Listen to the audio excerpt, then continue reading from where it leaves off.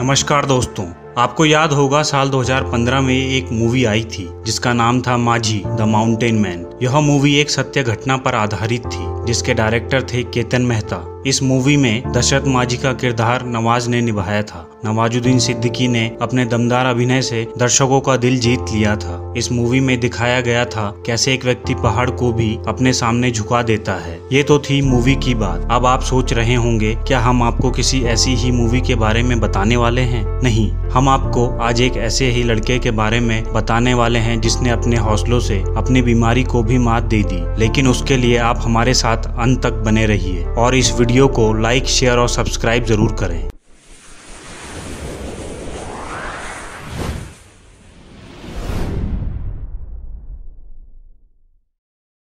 दोस्तों, जब से प्रधानमंत्री मोदी अमेरिका गए हैं, तब से उनके मेगा शो हाउडी मोदी की चारों ओर चर्चा हो रही है। हाउडी मोदी इवेंट में डोनाल्ड ट्रंप और प्रधानमंत्री मोदी की जोड़ी सुर्खियाँ बनी हुई है। इस इवेंट के दौरान एनर्जी स्टेडियम में हमारे देश का राष्ट्रगान गाया गया। यह एक गौरवशाली पल था। राष्ट्रगान के दौरान प्रधानमंत्री मोदी और ट्रंप साथ में खड़े नज़र आए। क्या आपको पता है राष्ट्रगान गाने वाला लड़का कौन था? हम आपको बताते हैं। वह है स्पर्श शाह, जो की भारतीय मूल के हैं और अमेरिका के न्यू जर्सी में रहते हैं। स्पर्श की उम्र 16 वर्ष है। स्पर्श द्वारा गाया गया राष्ट्रगान आप वीडियो के अंत में देख सकते हैं। स्पर्श जन्म से ही ऑस्टियोजेनिस इम्परफेक्टा नाम की बीमारी से पीड़ित हैं। ऑस्टियोजेनिसिस इम्परफेक्टा बीमारी में हड्डियाँ कमज़ोर हो जाती हैं, जो कि हल्के झटकों से भी टूट सकती हैं, लेकिन उसके बाद भी स्पर्श ने कभी हार नहीं मानी। वह जब माँ के गर्भ में थे, तभी उनकी 35 हड्डियाँ टूट चुकी थी। इस बीमारी के कारण स्पर्श की अब तक 135 हड्डियों में फ्रैक्चर हो चुका है, जिसकी वजह से वह चल नहीं पाते और वह व्हील चेयर पर ही रहते हैं। लेकिन स्पर्श ने इसके बाद भी हिम्मत नहीं हारी। स्पर्श एक रैपर, गायक, गीतकार और एक मोटिवेटर भी है। स्पर्श तब सुर्खियों में आए जब उन्होंने एमिनेम का गाना नॉट अफेड पर कवर रैप गाया, जिसे कि पैंसठ मिलियन लोगों द्वारा अब तक देखा जा चुका है। स्पर्श अगला एमिनेम बनना चाहते हैं। स्पर्श के ऊपर एक डॉक्यूमेंट्री भी बन चुकी है, जिसका नाम है ब्रिटल बॉर्न रेपर जो कि उनके जीवन के ऊपर केंद्रित है। वह UK TV show big shorts little shorts में भी दिखाई दे चुके हैं। वह वोसैप के ब्रांड एम्बेसडर भी है। वोसैप वह संस्था है जो शारीरिक रूप से अक्षम लोगों के लिए काम करती है। स्पर्श केबीसी के सेट पर भी नज़र आ चुके हैं। स्पर्श ने अपने द्वारा लिखा गया रैप भी केबीसी के सेट पर सुनाया जो उन्होंने अमिताभ बच्चन के लिए लिखा था।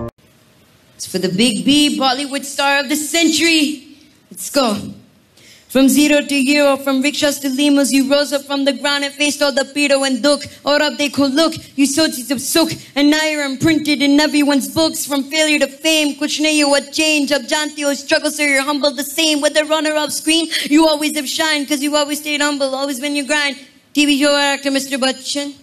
Pehla se hi aasha thi from Bachpan. You became nothing less than Hindustan ki best. Bounce back from disaster like the rising sun. You have overcome the challenges of her situation. Determination to this stage, कुछ नहीं hesitation. I've been living testimony. पूरी दुनिया की मोती की कोशिश करने वालों की कभी हार नहीं होती Media reports के अनुसार वह प्रधानमंत्री मोदी से मेडिसन स्क्वायर में हुए इवेंट में मिलना चाहते थे, पर वह उनसे मिल नहीं पाए थे। स्पर्श प्रधानमंत्री मोदी से बहुत ज़्यादा प्रभावित हैं। स्पर्श शाह लोगों को मोटिवेट करने का काम कर रहे हैं। वह लोगों के लिए प्रेरणा स्रोत हैं। कैसे उन्होंने अपने हौसलों से अपनी बीमारी को मात दे दी है? हम तो स्पर्श के इस हौसले को सलाम करते हैं और उनके उज्जवल भविष्य की कामना करते हैं।